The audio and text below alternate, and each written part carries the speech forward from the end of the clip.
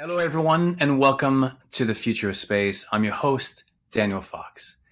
Our guest today is Dr. George C. Nield.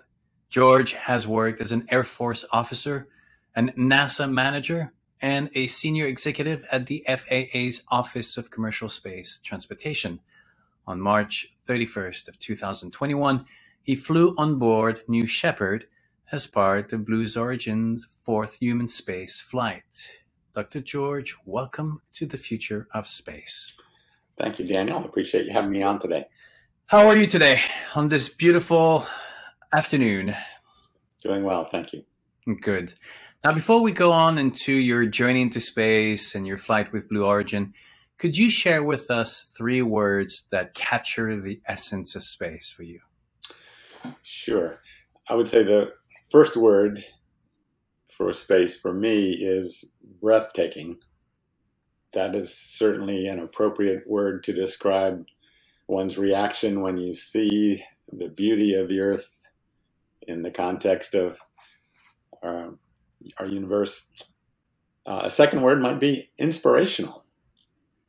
We look back thousands of years, people have been looking up to the sky and seeing the sun and the moon and the stars and the planets and that has encouraged them to try and learn and understand and explore and discover and have some context for are we alone and what's the meaning of life, all those kinds of things.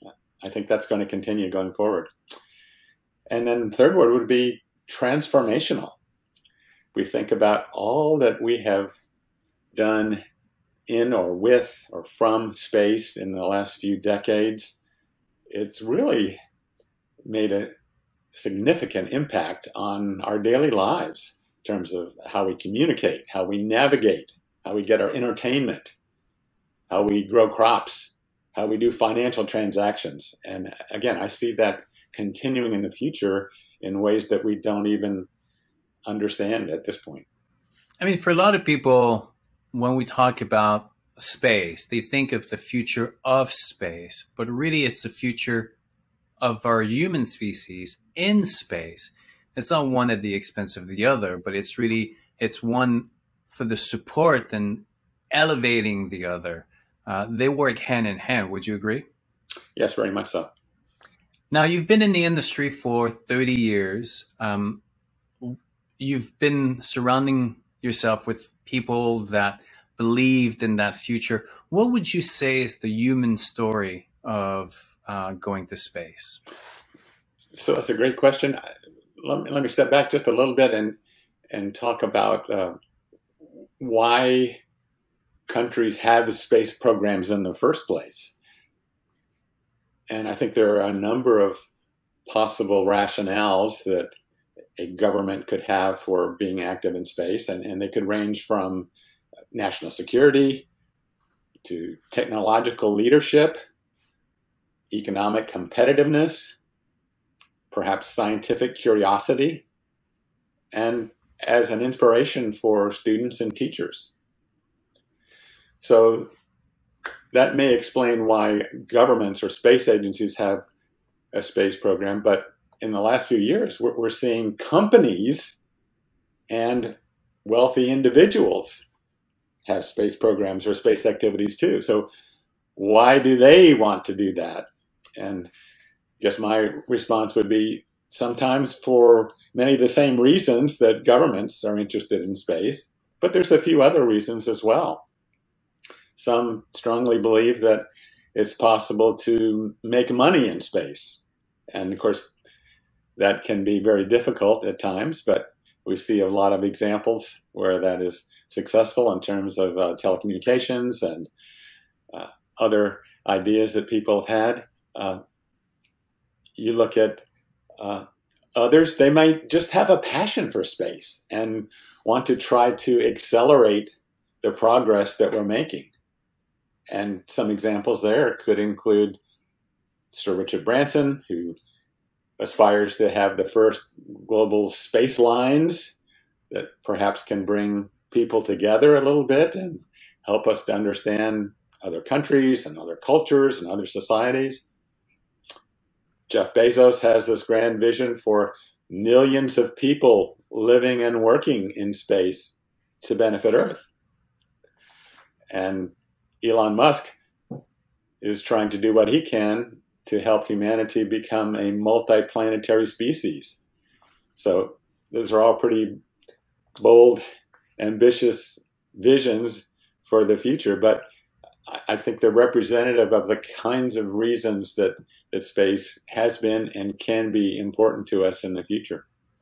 I think some of the questions that we that can connect with us is really, you know, why why does life want to go there? Why do we go off the beaten path to find new discoveries?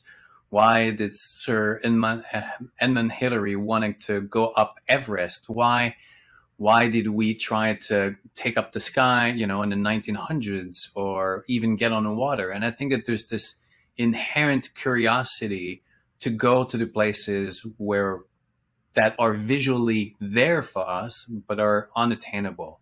I remember when I was uh, kayaking around uh, the Kodiak Islands and paddled for a day and I found myself into this remote island and I put the kayak away. I set up the camp, and right after I'm finished setting up the uh, the tent, this brown bear shows up, you know, through the grass, and up to my left, up of the hills, I see the two, uh, like a pair of deer that that are also there.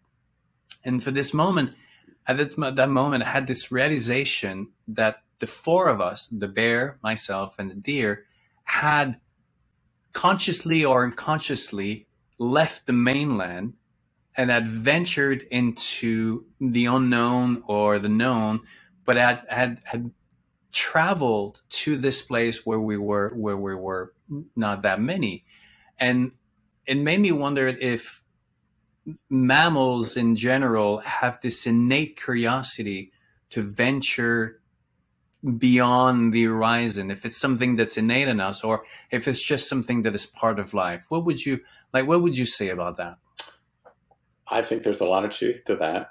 And not everyone may have that feeling, and different people have different reactions to, to risk and, and benefits and exploring and discovering. But uh, that certainly seems to be a part of human nature for many people. Now, with space always an attraction for you? Um, uh, what was the, the, these milestones that during your upbringing as a child and to where you are today that kept you on that, made you go on that path and kept you on that path moving forward?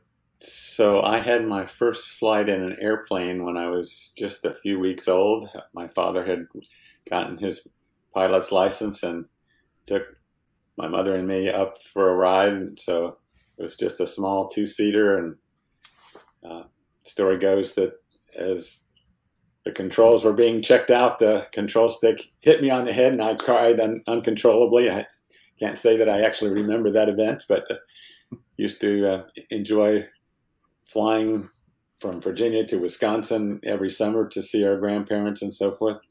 And then a little later, started seeing activities in space. And so I was very intrigued by and interested in the, the space chimps and the Mercury astronauts and used to cut out articles from the newspaper and have a scrapbook with all the pictures from Life magazine and all the rest, and was following those activities very closely. Um, studied math and science in school and enjoyed those.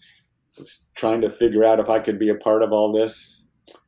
I decided to go to the Air Force Academy to go to school with the thinking that that would be a great place to learn more about aviation and space it would be a, a challenge for, for, me, which I enjoy, and also an opportunity to serve our country. So, again, that seemed to be a good fit for me. And then, following graduation, had a, a lot of different opportunities. Some of which you mentioned, uh, working as a flight test engineer in the Air Force, and then working for NASA on the space shuttle program, then the commercial space office of the FAA.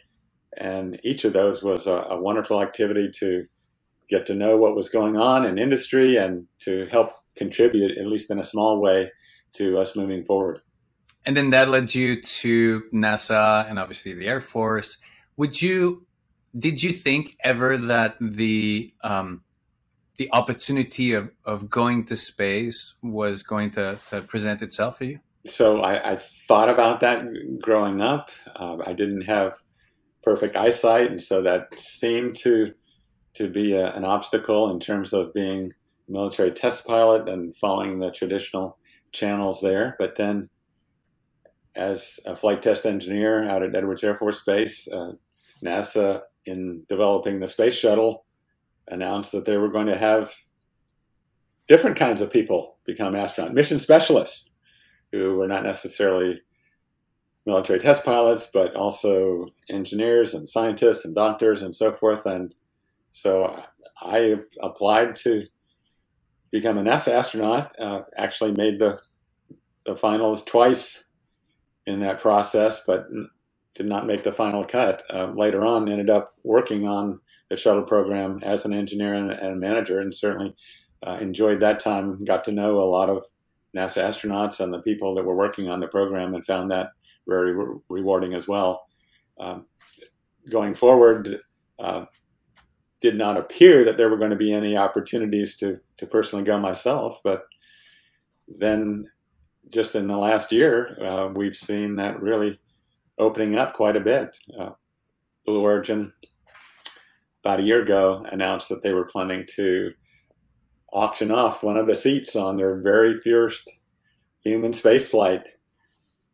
And so I raised my hand and filled out some forms and put in a, a bid for the auction. And of course, right away, the price got out of this world. So said, well, I tried, but uh, a little while later, they got back in touch with me and uh, worked out a, a, slot, not on the first flight, but on, on the fourth flight, as it turned out. So, uh, really am excited for having had the opportunity to participate personally in this type of activity after having supported human spaceflight for most of my career. Now, you mentioned transfer, uh, transformational. Um, now we, we know that going to space, um, the the training up to now has always been more focused on the the technicality of it, the the, the engineering aspect, the physicality of it. But it's becoming more and more obvious that there's also a spiritual preparation that needs to be done because the the experience is so powerful. I mean, I was talking to Sharon and Marc. Sharon was saying it's so emotional, powerful. It's the, the, the, it's so grand and it's so powerful that if you don't have a framework to really process that information, you can be left kind of wondering what to do with that. How do you think moving forward, as we get more and more public um, going up uh, uh, up to space, how important is it going to become to to prepare them mentally and spiritually so that they can get the, the, the most of that experience? That's an interesting question. So, different companies have different kinds of vehicles with different training programs, and it's not a one size fits all. And at least so far, there's no requirement that in order to fly, then this is what you have to be interested in, and this is what you have to think about, and this is the way you have to prepare. Blue Origin has decided to implement a, a system that is completely autonomous. And so there's no pilot on board.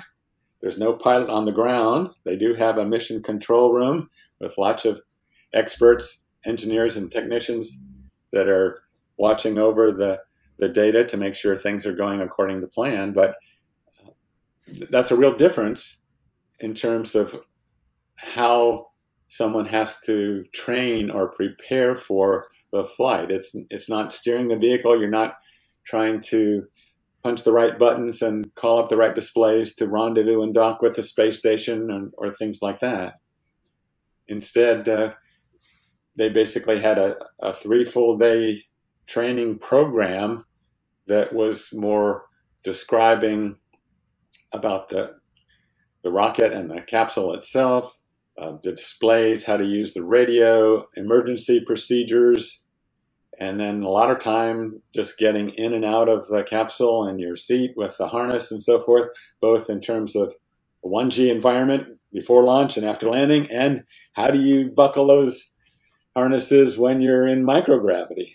So it was a much different uh, type of, of training than, for example, NASA astronauts have typically gone through.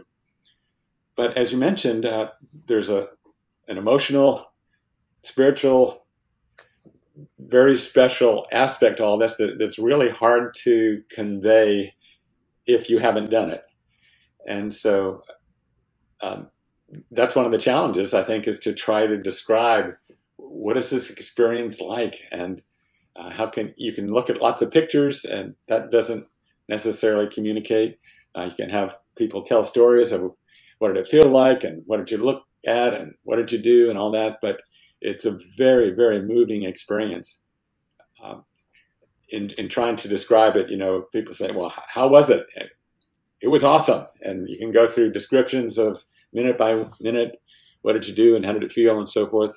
Uh, I encourage future flyers to uh, pay attention to, to what they're seeing, what they're hearing, what they're feeling.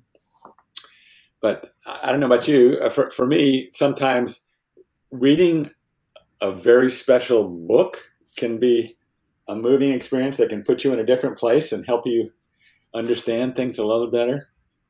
If you see a particularly good movie or show, sometimes that can be, wow, you know, that that was something. I'm different today than before I saw that. Or even if you hear some special songs or special kinds of music or symphonies, that can really be, moving to me, or I can get goosebumps or just feel my heart warm. I would say this: the space flight was all of those combined and then taken up a level. It, it's just really something special. I mean, there's definitely something to be said about these um, transformational moments in life. There's, and I think that in our culture right now, we tend often to dismiss the the necessity for the physicality of these experiences, thinking that we they can be replicated either in the virtual reality or just by reading about it. But there's a big difference between the theory and the actual experience.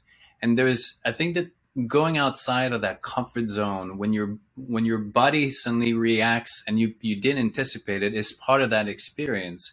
You know, whether it's going on the ocean, finding yourself in the middle of, you know, middle of the ocean during a storm and, and really finding this, the smallness of who you are and, and what you are, or this is the same thing as going up in space. We can, we can rationalize the, we can rationalize the experience. We can talk about it, but the physicality of the experience, the, the feeling the G's and then, and then getting up there and, understanding that there's something special about it. There's something that you should not be there. I remember experiencing um, when I witnessed the uh, the solar eclipse, the total solar eclipse of 2017, I think, in in Oregon. There's a huge difference between the 99% experiencing the solar eclipse on 99% um, um, eclipse and the 100% and being in that path of totality and understanding in that moment why the the societies of the past would go and sacri- and sacrifice whatever they could find because there is something really wrong about having the sun disappear. Like the, you, your mind goes into place that this should not happen. And i can only imagine going up in in a in a rocket for the first time and suddenly seeing the planet and your brain is trying to process all that and having obviously the adrenaline because of the g-force it's it's something that cannot that cannot be replicated just by putting a helmet and, and vr so that needs to be experienced by i think our world leaders and everybody so that we can we can kind of share that experience um, I obviously I think you will agree on that. Yes, very much. And there's a lot of different aspects of that. In our case, we were loaded into the capsule, say a half hour before the anticipated launch time, and they come around and check your your harnesses and make sure you're all ready to go and thumbs up everyone, and then the person who's assisting from Blue Origin goes out, they close the hatch, They climb down seven flights of stairs, hop in a car, and drive a mile away so that if something bad happens on the launch pad, they'll be fine. And then they arm the escape system so that if something bad does happen, then the capsule can be blasted away from the, the booster and come down under a parachute. And so now you're sitting in a nice, reclined, comfortable chair, just the six people on the crew all by yourselves on this fully fueled rocket, getting a few minutes to reflect on, on life. So, yes, that was certainly uh, a special feeling. Uh, during the, the launch portion itself, you're pushed back in your seats. I've heard uh, shuttle astronauts describe the liftoff as, as being like a, a kick in the pants. This was not that way. This was a nice, smooth, but very rapid acceleration up to about 3 Gs or so. And then after a minute, you get to the maximum aerodynamic pressure or max Q. Little more than two minutes was the main engine cut off. And then about 10 seconds later, bang, as the capsule separates from the booster. And then it was time to unstrap and float around. And it was fun to do somersaults and enjoy that. But all of us immediately turned to those huge windows. And without a doubt, the high point of the experience was the view. It's it's just I mean I, I get choked up and, and goosebumps just talking to you about it. To see the curvature of the earth, that thin, bright blue line that is the atmosphere that you are above and there's this black, black, black sky, blacker than anything that you can imagine. And it is just the most beautiful thing I've ever seen. So you can say, well, I've seen pictures of that. I, I saw a movie. Yeah, it is not the same. It is not the same. You have to experience this, and it's awesome. Jim Jim Kitchen, who was on the um, on the flight with you, describes the black as this eternal black. It's just a apparently there's so there's something about that black that is so different. I mean, it's a physical black. It's it's you know, and I think we all remember uh, William Shatner coming back and just like black, death, and and blue, and and life, and I it's I I remember watching him it, because here is someone who's trained in processing emotions. That's his job. While the vast majority yes. of us, you know, have have to connect the dots. He's someone, first of all, who's been primed all his life with what space, the narrative of space, and the overview effect, and being someone who, you know, take the emotion of the moment and just amplifies it and create the and create the, the, the moment. And he's coming back and I will always remember Jeff is right next to him, and you know he's festive. He's already been over there, but he's caring for the group. Is like, you know, look over there, everybody's celebrating, and and William is like, dude, hold on, you have no, you have no idea. it's yes. it's these like we go back and become that child, and I think that these it's I, I find these moments, and you were talking, and and I was just you know, I was getting goosebumps of just imagining that moment of looking out the window and and and feeling the awe of life and of what it is and how as a species we are at that stage now where we're we're doing this this is becoming a commercial opportunity that obviously is going to be you know becoming more and more available but the fact that we are there that like 300 years ago, the plane was not even invented. And now we're flying people to space. I mean, I've, I've, I always get so blown away and full of optimism about the future when I think of, yes, we have challenges, but we are able to achieve the impossible. Do you still get excited when you think of all the, the, the, the capacities of innovating um, innovations that we do? Oh, absolutely. But now more than ever, having had that experience, it has caused me to to look back and say, okay, here we are. 61 years after Yuri Gagarin became the first human being to leave the planet. And as of today, there have been 623 people in the whole world who have ever been to space. So, you know, 10 a year on average. I feel very fortunate to be one of those number. But we have to get that number up because it's such an awesome experience that can can change you, can move you, can open opportunities for you.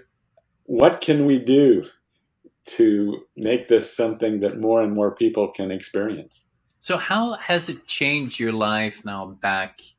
Um, do you find yourself looking at life differently, or did you did you change some of your priorities? You know, moving forward after after the flight. Um, how is different your life post going up as opposed to what it was uh, before? So that's a question that I get frequently, and remember now this this entire flight was only about 10 minutes long and yet it seems so full of different experiences and feelings and emotions and all the rest uh, as i mentioned i, I think it, it, does change you how you feel about things how you look at things and again i am more committed than ever to to trying to um, enable more and more people to have this experience and so it, it caused me to think so why is that number so small? And as I think about it, well, uh, right now it's pretty costly. And so, to the extent that we can get that price down, that'll, that'll certainly help. Uh, there's also a fair amount of risk involved. If you look back at, take the United States as an example, there have been roughly 400 space flights with people on board since we first started doing that. And out of that list, there have been four fatal accidents one X 15, Space Shuttle Challenger, Space Shuttle Columbia, and an early test flight of Spaceship Two. So that's a fatal accident rate of about 1%, which is terrible. And that's about 10,000 times more risky than the rate for commercial airliners. So again, we need to figure out how to make these operations more safe. And I think we're going to learn a lot by, by flying a lot, just as we, as we did for aviation. But the, the third limitation I think we're seeing right now is just a, a lack of capacity. It's very exciting to me that, that just since last summer now, we have three companies selling tickets to go to space. SpaceX, Virgin Galactic, Blue Origin, and, and there are others that are working on it. And yet we, we have, if you look at uh, Virgin Galactic's uh, recent report to their investors, they have like 800 people on the waiting list. And I'm sure SpaceX and, and Blue Origin have, have similarly lengthy uh, waiting lists to fly. So I mean, we're going to need more rockets. We're going to need more spacecraft. We're going to need more spaceports all over the world to allow people who think they might want to try this sometime the opportunity without waiting 10 years in line. And we have other companies like Space Perspective and Worldview are offering a different, a lower price range, still expensive, but a lower price range. Yes. But the more the more yes. of, of these these trips, the the lower the cost. Ultimately, the technology is going to get better. The risk is going to get lower, and that's and that's in in general. That's the, the the arc of every innovation. I mean, whether it was the cell phone or the computer or cars or even credit that you know at the bank you know credits people don't know i mean people it's it's a really long time ago but usually just the rich people would have the opportunity to get credit. The people who didn't who didn't have the fortune would not never be offered the credit. Now credit is offered everywhere. Everybody has a cell phone. Most of the people can take, you know, the plane to a different country.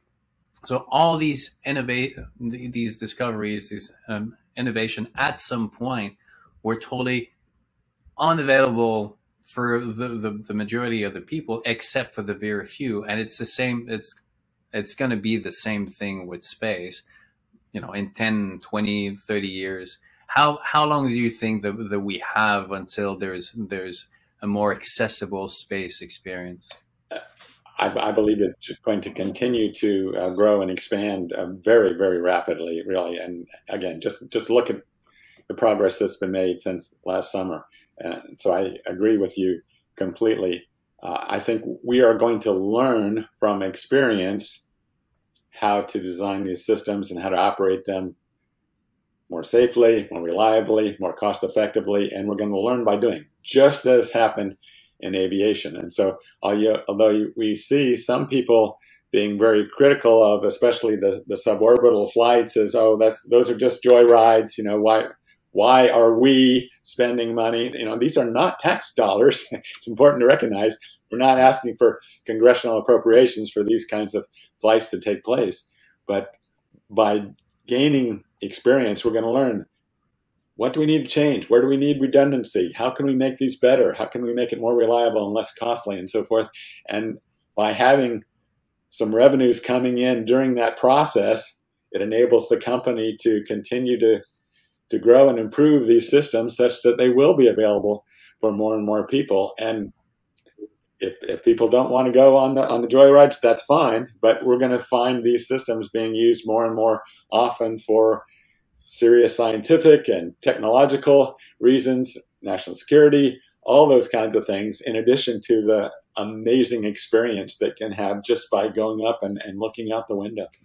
The, the benefits of the science, the technology that are going to trickle down to Earth by going to space are just absolutely incredible. Um, and I think it's hard for people to understand what is around the corner because one of the like on earth there's not that much that many incentives to let's say be really sustainable or to be really efficient because it's the resources are really out there you know if you trash something you just go and get something else when you go to space that atom of carbon that you bring with you is worth everything. And you cannot just go and open the door and throw your garbage out because this could be your food. This could be your your your your next piece of metal that you need. So that atom of carbon needs to be recycled reused over and over again. There's going to be technologies of how um, to be efficient with the food that we grow and how new materials are being are being built. And obviously the satellites that can help us predict the weather work with the, the environmental world the weather all these these assessment i think it's it's I mean, you've worked in that industry for, for quite some time. You have a grasp of what is coming. How would how would you try to to, to convince someone that um, going to space is just going to be just this this this box of treasure not this box of treasures but this this um, this new revolution of innovation that's going to benefit earth so let me gently push back and again uh, maybe trying to change the the focus of the discussion. Uh, maybe at the beginning, again, we had to have a, a, president challenge the nation and have a national space agency whose mission was was not easy, but it was hard, and that's why we want to do it. And it's going to cost this much money, and so you come go back to Congress every year for appropriations, and you have a government bureaucracy that is trying to work fast and efficiently. And wow, we're at a very different tipping point now, where we're seeing people not relying on the government, not using the latest government designs for space shuttles or space launch systems they're looking at reusability. They're looking at flying once a week. Remember when the space shuttle was going to fly once a week? I mean, this is really an amazing thing. And I, so I don't, I don't think we necessarily have to convince all the voters that this is what the nation has to use our tax dollars for, but there's lots of good that can come out of it. So let's at least step aside, appreciate, enjoy if it's not for you, that's fine. But there's going to be benefits that come, and we've talked about some of them, but there's a lot more coming around the corner. I, I mean, as a possible example, I see the opportunity perhaps to have limitless, very low cost, and non polluting energy through solar power sat- satellites. Don't know if that's going to happen and if we're going to decide to go in that direction, but the, the potential is there. The, the physics says yes, it can be done. So it's a question of our, our priorities and, and what the constraints are on in terms of uh, carbon energy sources and all those kinds of things. Uh, as you mentioned, just the the fact that you're limited in your in the size and the weight of the system you're flying on, it forces you to look for new ways to conserve and to reuse and to recycle. And going to the moon for long periods of time will stress that even further. Going to Mars, even more so. So I, I see a lot of potential benefits. One slight tangent, if you will, to, to this discussion, I, I see very soon, certainly in the next 10 years, a lot of the learning from the pure space activities being applied to what is referred to as point to point transportation through space. And so, again, Elon Musk, SpaceX, they're building Starship to colonize Mars to be the human landing system on the moon. Great, looks like it has a lot of capability for that.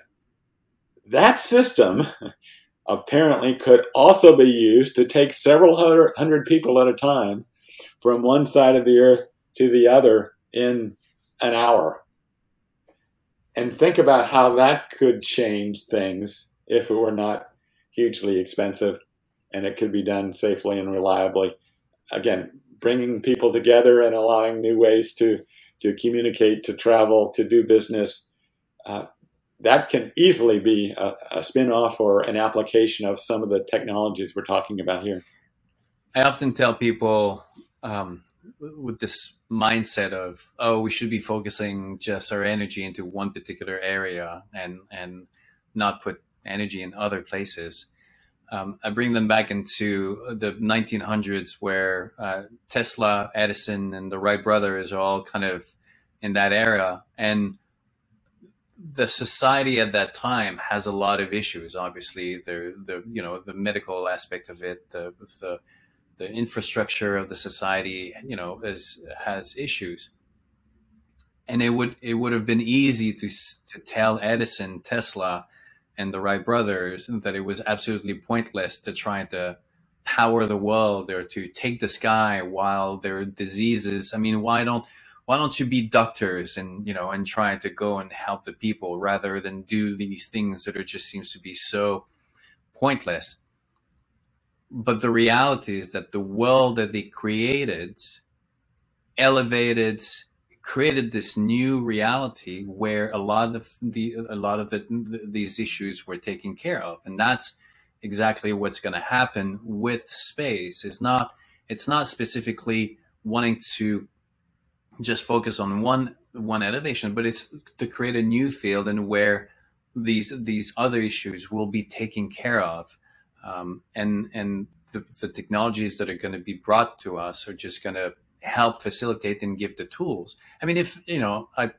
I remember when the Salesforce commercial came out, you know, during the Super Bowl, and you got Matthew McConaughey who's you know, now telling the world that we shouldn't be doing that. And in my head, I'm thinking, well, hold on a second. You're, you're an actor. In terms of spending your life doing something worthful, I mean, being an actor is not necessarily the most impactful uh, uh, a career in life. So maybe you should revisit your your your your choice but life is so much more a single issue strategy. You know, we have artists, we have philosophers, we have writers, we have we need collectively to elevate the dialogue and the human experience so that we can discover the unexpected. Because if we focused just on the zero, you know, narrow a narrow strip of, of reality, I think we would miss a lot of the discoveries. And I think the space is just there a there's so many discoveries waiting for us, right? I, completely agree. I think that's one of the magical benefits of, of innovation and uh, the kinds of things we're talking about here. Uh, but that brings up one, one, other point I'd like to make, and that is that I think we've done a disservice to folks by uh, helping them think that to be part of the space program, you have to be a whiz at math and science. No one else need apply. But if we're going to achieve some of these grand visions, the millions of people living and working in space to benefit Earth and so forth, you're going to need more than test pilots, engineers, doctors, scientists. You're going to need technicians, welders, hotel managers, tour guys, artists, painters, athletes, all those kinds of people. So I guess my advice to people, if you are interested in space, if you are passionate about space, regardless of your education or your current job or the other traditional criteria, go for it because there's going to be a place for you in space. And I, I really think space is our future and there's room for all of us. It's absolutely. I was talking to uh, Patty Stoll from ILC Dover, and we're we're talking about how much the the the company is, you know, hiring new talents and a lot of engineers, obviously. But I said, what about the the, the students who, who is right now in the Fashion Institute has absolutely zero engineering skills, but wants to get into this industry? Is is there a place for them? And she was like, absolutely. In fact, we need more we we need to to focus on that human experience. Um, yesterday, talking to uh, the Rosewood, the GM at the Rosewood uh, Hotel here in, in Washington, who's going to be the first hospitality business company to maybe not invest into space, but lead the conversation of what is going to be that human experience. Because right now, that experience is like going and, and roughing it in the outbacks, you know, with with freeze dry food, and and it's really not for everyone. But there's gonna be there's gonna be that that need of like, okay, we got the engineering aspect covered, we got the sewers, we got the the the plumbings, and we got the electricity. But beyond that, now we need that richness of that human experience so that we can start moving more and more, and not just be this like you know, really high and dry uh, experience that is not, not attractive for most of us. So we need these individuals that brings a different perspective. We need the artists, we need the, the, the writers. And I think part of the success of the Renaissance, you know, if we go back into the, the history, was for the Medici and these powerful people to see the value in hiring artists to create a vision of the future that that went beyond the the the the, the knowledge of that play of that time. And i think that the billionaires that's their their, their responsibility is to to get those people who usually have different skills and create that vision of the future right? I agree. And it's not just well it's my duty to um, have some of my wealth go to these other people but there can be benefit. It can be uh, different ways of looking at things and uh, can be a win-win scenario. So real synergy opportunities. Now, George, if people have questions for you, or if they're interested in following your your next your journey and and what you're working on, uh, can they go? I mean, are you on LinkedIn or do you have a website? Or how can they contact you? Yes, uh, LinkedIn is, is great, and also try to do a little on Twitter as well. So Excellent. So we'll make sure that the the links are on the uh, the descriptions for your LinkedIn and for your Twitter. Um, I think that you and I we might see each other tomorrow. Um, so I'm looking forward for that. Uh, we can continue that conversation. George, thank you so much for taking the time and for sharing your wisdom and your experience. Uh, I, I greatly appreciate. Thank you, Dan. Looking forward for the next time. You bet.